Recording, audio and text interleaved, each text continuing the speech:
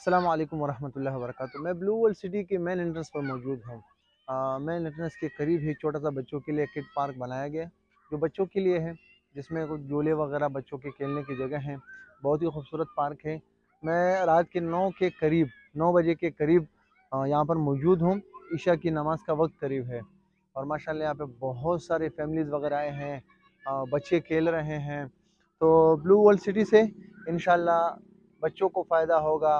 बड़ों को फ़ायदा होगा इन्वेस्टर्स को फ़ायदा होगा ब्लू वर्ल्ड सिटी में इंशाल्लाह सबको फ़ायदा होगा। जिन्होंने इन्वेस्टमेंट की है जिन्होंने इन्वेस्टमेंट इस नीयत से की है कि फ्यूचर में हम यहाँ पे ब्लू वर्ल्ड सिटी में घर बनाए हैं तो इंशाल्लाह उनको भी फ़ायदा होगा। आप इनको एक नज़र दिखा दो, यहाँ पे कितना खूबसूरत प्रोजेक्ट है, कितना खूबसूरत पार्क है, रात के नौ के करीब का वक्त है, और बच्चे यहाँ पे खूब खेल रहे हैं, माशाल्लाह। एक नज़र दिखा दो इनको।